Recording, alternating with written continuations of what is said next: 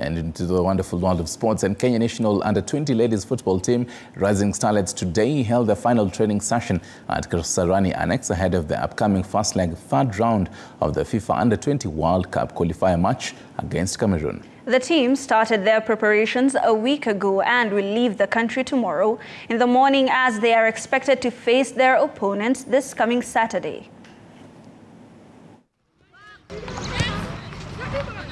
Uh, team iko ready, players wamegel not uh, so much, hatujakuwa na, na siku mingi but players wamegel and ready for the match against Cameroon.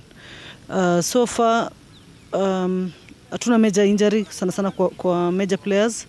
Uh, tuko na minor injury but tume release some players plus tumebaki nao wako good to go. Saa si kama players wenye tulibaki kutoka Angola, tuko missing players 8 wenye wako kwa exam, but coach wame replace. Sahii timu iko sawa, hiyo shimo haitaonekana, timu iko poa, tuko form. Alafu kwa wenye wako exam tunawahakikishia wakimaliza watakuja kutujoin tukienda kubeba World Cup.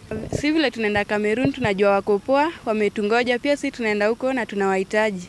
Tukienda huko tunatarajia kuletea Kenyans results poa, watafurahia. Hadi wenye wako exam wenye hawiko squad pia watafurahia na watakuja kutujoin tukibeba World Cup.